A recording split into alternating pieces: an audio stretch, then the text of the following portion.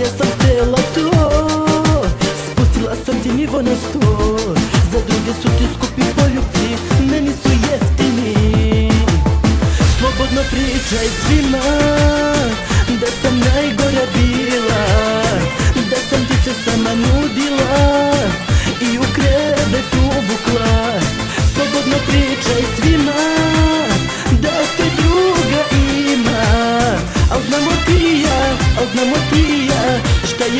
Prava istina I bit ću najgora pred ljudima Al u tuđim rukama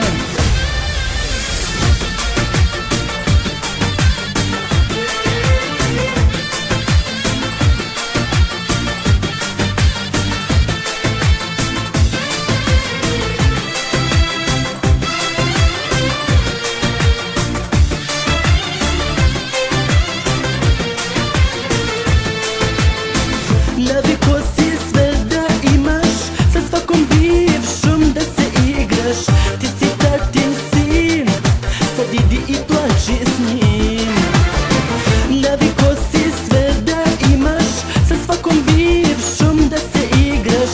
Ti si tatin sin Sad idi i plači s njim. Za druge su ti skupi poljubci Meni su jeftini. Slobodno pričaj svima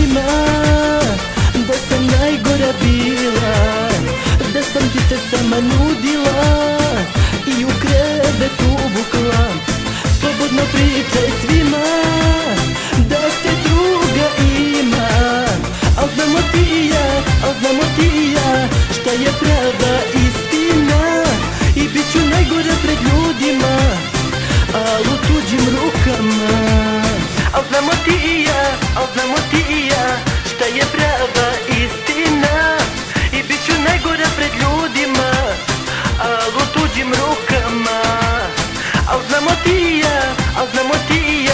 Šta je prava istina I bit ću najgora pred ljudima Al u tuđim rukama.